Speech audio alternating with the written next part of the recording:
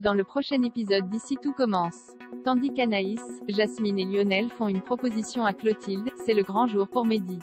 En parallèle, Guillaume organise une surprise pour Laetitia. Attention, les paragraphes qui suivent contiennent des spoilers sur l'épisode d'ici tout commence diffusé demain soir sur TF1. Si vous ne voulez rien savoir, ne lisez pas ce qui suit.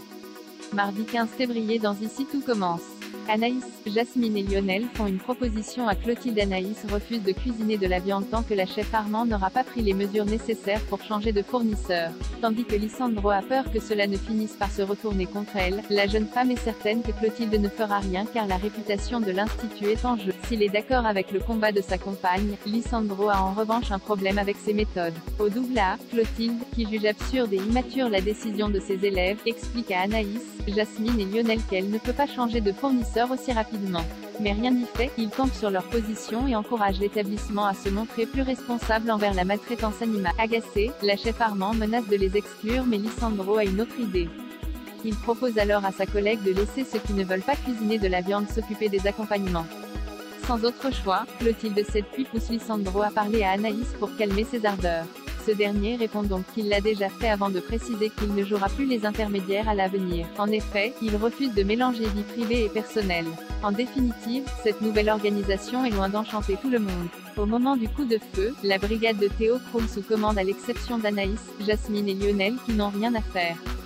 Une situation qui ne plaît pas à Charlène qui commence à critiquer leur choix qui pénalise le restaurant tout entier. Tandis que le ton monte, Salomé intervient pour faire retomber la tension.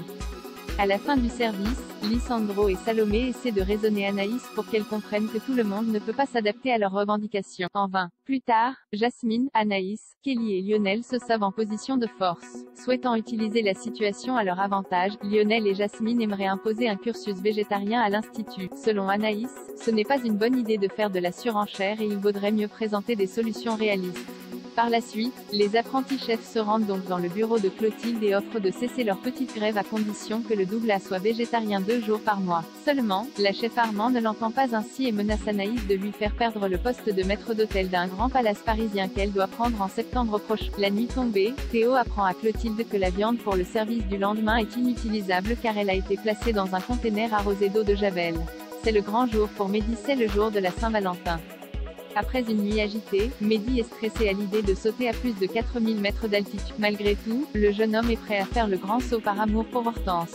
De son côté, celle-ci est quant à elle très excitée à l'idée de faire cette activité avec l'homme qu'elle aime. Afin de soutenir son ami, Enzo propose au couple de les accompagner en voiture jusqu'au lieu de rendez-vous. En réalité, il les emmène chez Célia au marais salant. En effet, Hortense a fini par comprendre que Mehdi avait peur et ne voulait pas sauter en parachute. Finalement, ils fêteront donc la Saint-Valentin avec leurs amis. Soulagé, Mehdi lui dit qu'il aime avant de l'embrasser. Guillaume organise une surprise pour Laetitia. Guillaume et Laetitia ont passé un week-end en amoureux loin d'Auguste Armand. Si Guillaume est sur un petit nuage, Laetitia se montre pour sa part beaucoup plus distante car elle n'a toujours pas digéré ce qu'il a fait à Joachim. Pour lui prouver que c'est elle qu'il aime, le proviseur adjoint souhaite organiser quelque chose de spécial pour la Saint-Valentin. Malheureusement, Laetitia n'a aucune envie de faire des efforts et n'est pas d'humeur à fêter quoi que ce soit. Par la suite, Guillaume rejoint Kelly pour lui demander son avis. Comme sa mère a toujours rêvé de fêter la Saint-Valentin avec quelqu'un qu'il aime vraiment, elle lui conseille de prévoir quelque chose de surprenant pour se faire pardonner. Pour ce faire, il sollicite Rose pour qu'elle lui prête un vidéoprojecteur afin de préparer une soirée karaoké. Une idée qui plaît beaucoup à Rose qui se dit certaine que Laetitia sera touchée par ses efforts. En fin de journée, Laetitia rentre chez elle et découvre son appartement orné de cœurs et de fleurs. Après lui avoir fait une déclaration, Guillaume lui tend le micro pour qu'elle pousse la chansonnette. Heureuse, elle se prête au jeu et chante Le coup de soleil de Richard Cocciante.